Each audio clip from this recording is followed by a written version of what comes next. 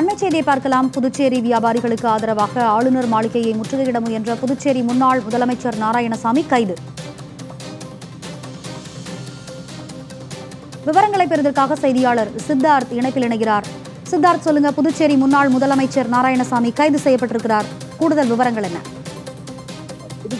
நகரப்பகுதியில் பகுதியில் அமைந்துள்ளது பெரிய மார்க்கெட் நாயக்குடம் குபேரங்காடி இங்கு வந்து காய்கறிகள் மீன் மல்லிகை பொருட்கள் பூ வியாபாரம் செய்யப்பட்டு வருகிறது.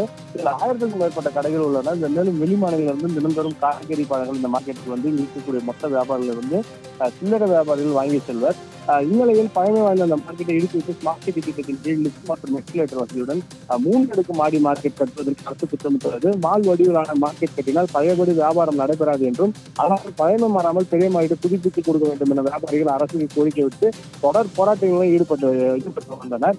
ஆனால் வியாபாரிகள் கோரிக்கைக்கு ஆளும் என்ஆர் காங்கிரஸ் பாஜக கூட்டணி அரசு செவிசாய்க்காமல் கடைகளை இடிப்பதில் உறுதியாக இருந்தது. இந்த நிலையில் இன்று வந்து காலை ஆறு மணி முதல் மாலை ஆறு மணி வரை கருத்து கொடி ஏந்தி கடையடைப்பு போராட்டம் நடத்தப்படும் என்று வியாபாரிகள் த- தரப்பிலிருந்து கூறப்பட்டிருந்த நிலையில் இந்த கடையடைப்பு போராட்டமானது நடைபெற்று வந்தது. மேலும் வந்து இந்த க- கடையெடுப்புக்கு ஒட்டியே வந்து ஆர்ப்பாட்டமும் நடைபெற்றது. இந்த வியாபாரிகளுக்கு ஆர்ப்பா வியாபாரிகள் ஆர்ப்பாட்டத்திற்கு ஆதரவு தெரிவிக்கும் வகையில் இந்திய கூட்டணி அரசு காங்கிரஸ் திமுக விடுதலை சிக்கல் மற்றும் கம்யூனிஸ்ட் கட்சிகள் அவர்களுக்கு ஆதரவு அளித்து இந்த ஆர்ப்பாட்டத்தில் கலந்து கொண்டனர். இந்த ஆர்ப்பாட்டத்தில் முன்னாள் முதலமைச்சர் நாராயணசாமி சட்டமன்ற உறுப்பினர் காங்கிரஸ் சட்டமன்ற உறுப்பினர் வைத்தியநாதன் முன்னாள் எம்பி கண்ணன் உள்ளிட்ட முக்கிய மு- முக்கிய பிரமுகர்களும் கலந்து கொண்டனர். தொடர்ந்து இந்த ஆர்ப்பாட்டத்திற்கு பிறகு ஆளுநர் அதாவது இந்த நேரு வீதி வழியாக ஆளுநர் மாளிகையை நோக்கி முன்னாள் முதலமைச்சர் நாராயணசாமி தலைமையில் அனை மா- மார்க்கெட் வியாபாரிகள் அனைவருமே ஆளுநர் மாளிகை முற்றுகையிட்டதுக்காக வந்தனர். அவர்களை போலீசார் தடுத்து நிறுத்தி சிறிது தள்ளுமொழி ஏற்பட்டது. தொடர்ந்து இந்த சம்ப இந்த முற்றுகை வந்த சம்பவத்தை தொடர்ந்து ஆளுநர் மாளிகை அருகே அவர்கள் வந்ததால்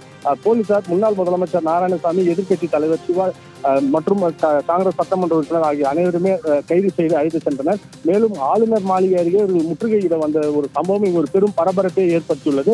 மீதம் இருந்தவர்களை போலீசார் தற்போது கலை கலை செய்து கலை செய்ய வைத்து வருகின்றனர் அந்த வியாபாரிகளை ரம்யா. விவரங்களை வழங்கியமைக்கு நன்றி சித்தார்த்.